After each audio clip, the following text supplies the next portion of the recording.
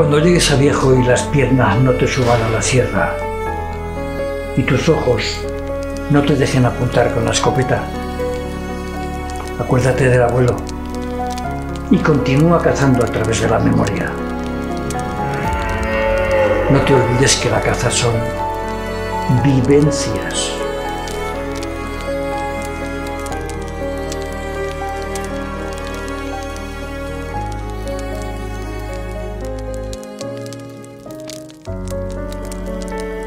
El trofeo de un cazador son los buenos recuerdos.